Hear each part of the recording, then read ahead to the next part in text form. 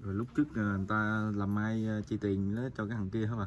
Ừ, lúc trước nó đâu nói ở gần đâu dưới đó người ta quen biết cái gia đình đó đó rồi người ta làm mai gả như vậy đó. Dạ.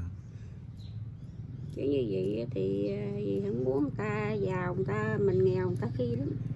Mình muốn đi tới nhà người ta mình cũng ngại nữa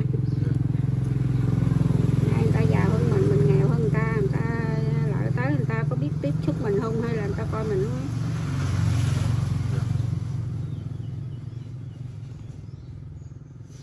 cái à, tính ý của gì khác lắm bởi như người ta à, chẳng thà tương đối nhau với mình á thì dễ sống được cái dễ sống nó hòa đồng với nhau. Còn cái tỷ người ta sống cảnh cái tính cách của người ta người ta giàu có người ta quen rồi còn mình nghèo khổ lại nhiều khi người ta coi mình ghẻ không chừng nữa dạ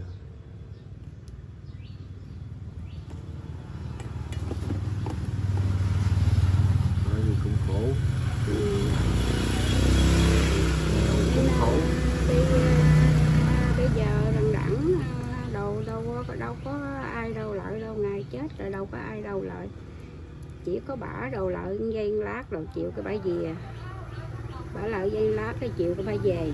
Đâu có ở đây tiếp xúc ờ, mà lo lắng rồi phụ đâu. Dạ. Hay là nghĩ tình con mà dâu mình hay là cháu mình đồ này kia kia nọ không còn nữa ngày cuối cùng rồi. Dạ. Đó.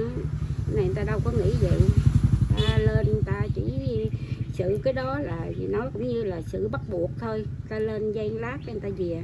Dạ. Cái đó là cũng như là sự bắt buộc rồi đó. Dạ đúng rồi. Chứ không phải là người ta nghĩ cái tình nghĩa. Nhưng con nghĩ cái tình nghĩa thì con hết lòng con lên ở đây con chăm sóc phải không? Dạ đúng rồi. Còn này người ta lên dây lát người ta về lên dây lát cái có buổi cái người ta về. Ta lên cũng như cho có mặt cho đừng bị nói thôi. Ờ, người ta lên cho có mặt rồi đừng bị mà người đời dư luận ờ, thôi người ta về. Ta đâu có tiếp xúc đâu còn như phải mà hết lòng nghĩ tình nghĩa thì người ta ở đây. Dạ, bằng đi người ta cũng ở đây nữa. Dạ đúng rồi. Đâu phải chi mà còn con nhỏ hay là còn con còn bú gì đó thì người ta nói ờ gì còn này hay già hết rồi. Dạ. Đáng lẽ gì hết tình hết nghĩa thì phải ở đây với xui gia đồ. Dạ đúng rồi. Đêm hôm thức đồ này kia kia nọ ừ. Mình đi tới đi lui mình thăm lôm con cháu đồ này kia kia nọ ngày cuối cùng của nó. Dạ. Còn này chiều cái người ta lên lát giây cái người ta về mất tiêu hết rồi. dạ ta sợ miệng đời nói nên ta lên cho có mặt vậy thôi. Dạ. Ờ, bữa đám tang là con ở đây nè bữa bằng đêm đó không biết có bà không ạ? Có là thấy bên bà xui đâu đâu có lên đâu thì đâu chiều bữa đó ổng điện cho hai ba cuốc mà ờ, dì nói cho chú nghe cái điện thoại của con nhỏ này nghe. Dạ. Đó mà nó chết gạo trở về trên này mà ổng điện vô con- nghĩ nó có trả lời được hay không. Mà ổng điện vô ổng biểu á, bà biểu với biểu á, thì phải kêu bả về đi. Ổng sắp chết rồi. Con nghĩ cái ổng sắp chết hả đằng này chết. Dạ.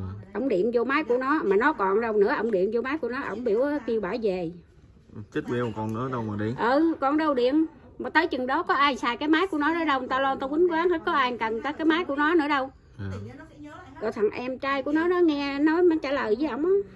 Ổng điện ổng biểu lên đây nè kêu bả một hai phải về. Ổng sắp chết rồi. Nói vậy con nghĩ đi. Mà nó chết rồi nó có trả lời trong cái điện thoại đó được không? Mà ổng biểu một hai phải kêu cho bả về. Dạ.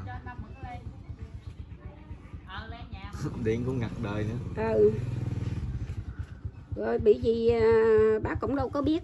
Rồi cái thằng em trai của nó đó thằng thứ tư đó nó mới trả lời nó nói ông muốn cần thiết gì á, ông điện vô máy của bả chứ còn này máy của chị tôi chị tôi chết rồi đâu có trả lời được ở đâu? Như vậy là mới biết. Dạ. Đó. mới biết là cái máy đó cái máy của con nhỏ này bị gì mới cũng mới xuống thành ra đâu có biết. Rồi thằng em nó trả lời vậy đó. Dạ. Ông điện ông một hai kêu bả phải về ổng giờ ổng sắp chết rồi Chết, thằng này nó mới trả lời vậy đó. Người ta chết người ta đang lo mà. Ừ. ừ, ông điện một hai phải kêu bả về.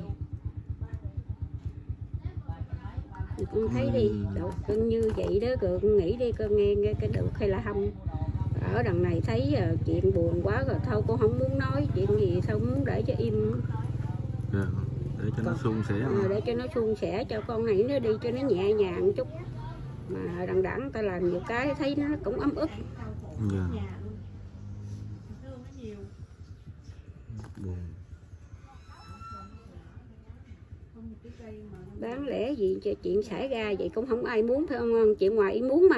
Dạ. Đáng lẽ gì ổng với bả đồ dưới biết điều đồ lên đây ở đây tiếp xúc với xui gia đồ bằng đêm bằng hôm thức nói chuyện nói giảng đồ cho đỡ buồn đồ này kia kia nọ. Tình hình như thế này ai cũng đau lòng hết trơn không ai không đau lòng hết dạ. Mà chuyện này thì nói ra thì cũng không ai muốn. Để Ừ. đặng với ổng với bà con không muốn đi mà đằng này cũng không muốn nữa. Dạ. Nhưng mà ổng làm nhiều cái thấy nó ấm ức mà nó lại tức nữa. Mà không lẽ thì giờ mình đi làm lớn chuyện ra thì nó cũng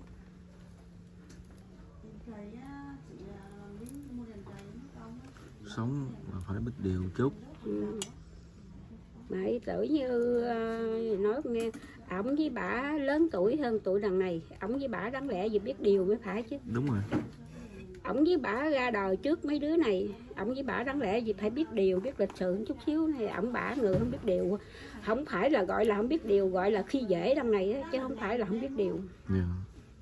Tôi nghĩ cái phải gì không? Dạ, đúng rồi. Cái đó là nghĩ cái đằng này nghèo hơn ổng ông khi dễ chứ ông không biết điều. Nói tự như là nói về nói nói đầu ở gần biết gì. Tao không nói cũng không làm gì tao. Đó. Ừ. chứ đâu phải ổng già từng tuổi đó ông không lẽ ông không biết điều. Dạ. Khổ